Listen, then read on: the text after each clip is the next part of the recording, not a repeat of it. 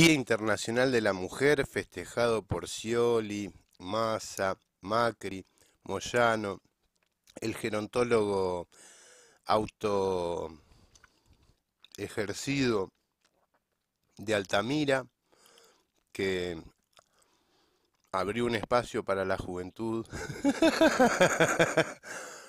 Totalmente asambleario, el compañero Altamira que cada día lucha más por los derechos de la juventud. Em,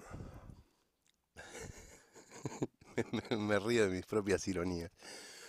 Eh, son todos, todos junto a Tinelli, a Cristóbal López, a Garfunkel, a Spolky, eh,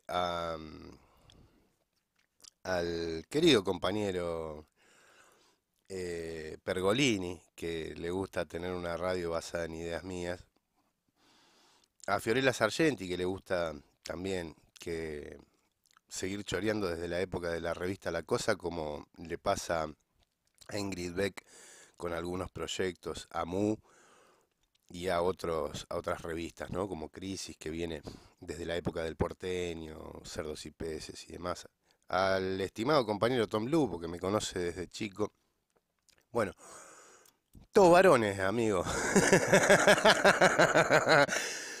Salieron a festejar en tetas el Día Internacional de la Mujer, porque acá queda clarísimo que los intereses que tienen son el feminismo, todos estos personajes históricos del feminismo, que históricamente pelearon por el feminismo, y ahora que está en la palestra, qué palabras tan joviales y jóvenes como, como casi como Altamira. Eh, están, están todos en la senda correcta de la lucha por la unidad popular y aparte son todos muy creíbles. Eh, bueno, antes de que me mee de la risa, voy a cortar este, este video acá.